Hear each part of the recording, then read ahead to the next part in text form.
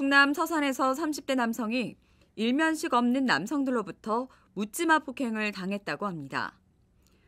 충남 서산경찰서는 길 가던 A씨를 붙잡아 마구 때린 30대 B씨를 상해, 20대 C씨를 폭행 절도 혐의로 각각 검찰에 불구속 송치했다고 밝혔습니다. 이들은 지난 4월 새벽 서산시의 한 상가 인근 도로에서 서로 모르는 사이인 A씨를 주먹과 발로 폭행하고 스마트폰을 뺏었다는데요. A씨는 친구와 통화를 하고 있는데 두 명이 뒤에서 내 목소리를 흉내내며 따라왔다며 누구시냐고 물었는데 갑자기 얼굴을 가격당했다고 주장했습니다.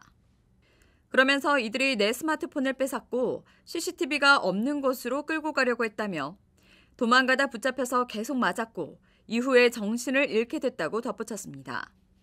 폭행 현장 인근 차량 블랙박스에 담긴 영상에는 B씨가 도로 위에 널브러진 A씨의 얼굴을 주먹으로 여러 차례 내려치는 모습이 고스란히 포착됐는데요. 그는 일행을 만류해 떠나는가 싶더니 다시 달려와 A씨의 얼굴을 발로 밟아버리고 기절한 A씨가 미동도 하지 않는데도 계속해서 주먹으로 얼굴을 가격했습니다.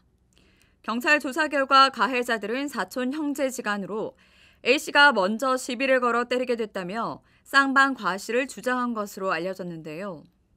폭행으로 머리와 목을 다친 A씨는 전치 8주의 치료가 필요하다는 진단을 받고 입원 치료를 받다 최근 공황장애 진단까지 받았습니다.